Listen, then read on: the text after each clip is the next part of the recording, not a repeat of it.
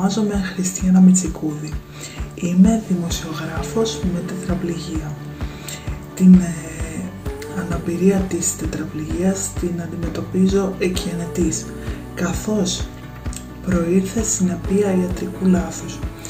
Η κινητική μου αναπηρία όμως δεν με εμπόδισε στο να πραγματοποιήσω τα όνειρά μου, να σπουδάσω δημοσιογραφία, να κάνω 11 χρόνια τηλεοπτική εκπομπή για αμαία στον τηλεοπτικό σταθμό Εγνατία, να γράψω τρία βιβλία, δύο παιδικά και ένα μυθιστόρημα, το θαύμα των σκύλων και τα τσακισμένα φτερουγίσματα είναι τα παιδικά και το μυθιστόρημα είναι το δόξα και συνείδηση που ασχολείται με τον κόσμο των media.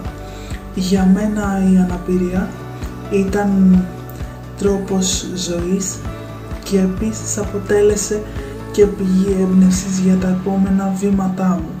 Καθώς ε, ζώντας με αυτό το πρόβλημα στη ζωή μου αυτή την κινητική ανεπάρκεια κατάφερα να αναγνωρίσω τις δυνάμεις μου από πολύ νωρίς και να μπορέσω ε, να βάζω στόχους που έναν έναν με πολλή προσπάθεια και αγώνα και από πλευράς μου αλλά και από πλευράς της οικογένειάς μου κατάφερνα να υλοποιώ.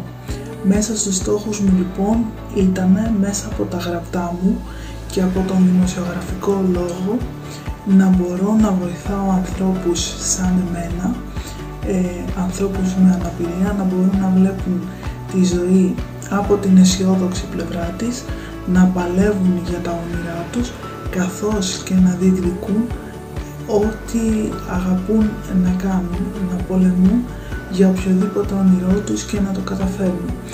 Αλλά ήθελα να δώσω και άλλο ένα μήνυμα, ένα μήνυμα σε όλη την κοινωνία, ότι η αναπηρία είναι μια συνθήκη ζωής, αλλά αν την αποδεχτείς και πορευτείς με αυτήν, μπορείς να καταφέρεις τα πάντα, απλά με διαφορετικό τρόπο.